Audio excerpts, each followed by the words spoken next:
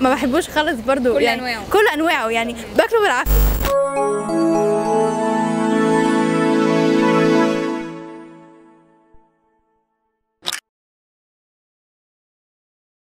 قول لي إيه الأكلة اللي لما والدتك بتعملها في البيت بيبقى يوم عيد؟ الملوخية. يوم عيد مكرونة بالبشاميل فراخ مشوية كفتة مشويات بقى. ممبار. أي حاجة ما باكلش في البيت أصلا. المحشي آه، الملوخية. عيد ومبسوطة؟ المحشي فراخ ال- أي نواشف. المحشي. المحشي مع فراخ. كله. محشي مثلا محاشي ومكرونة بالبشاميل. عندنا المنسف عباره عن إيه آه، رز مع لبن. هي الأكلة أردنية مشهورة. رز وعليها لبن وعليها لحمة. بحب اللحمة. آه طبعا.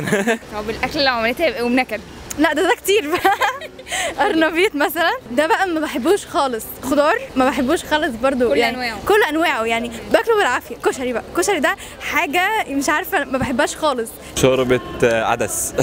تعرفوها؟ آه مصريين شوربة طبعا. عدس لا إذا بتشوف غيمة في الجو على طول تعملها. البصارة.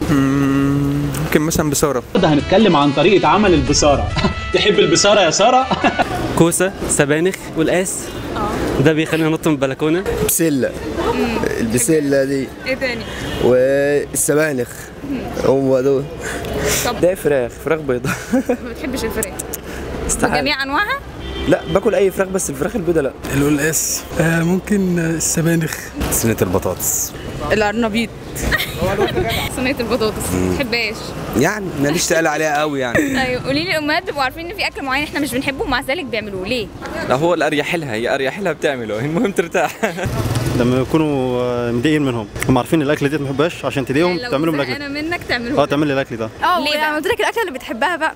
المفروض إيه؟ عشان لما تكبر يبقى حاجة مفيدة وأنت تحبها لازم تحب كل الأكل. الحمد لله. رضا.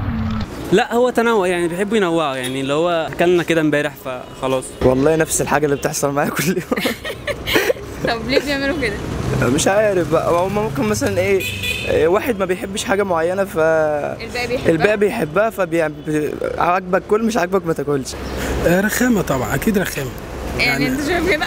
عشان بقية الأولاد أصل في مش كل الأولاد هتحب الأكل نفس الأكل. في أولاد بتحب الأكل دي وبتحب في أولاد تاني بتحب ليك ويوم أو ممكن يكون يعني. الزوج هو بقى اللي بيحب الأكلة دي والواد ما بيحبهاش.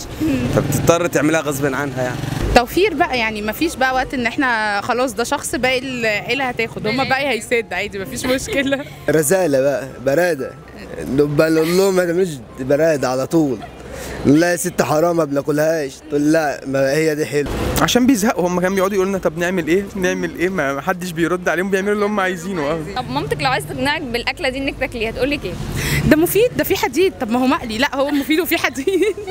تقول لي يا بيبي. ماما بتقول لك يا بيبي. آه.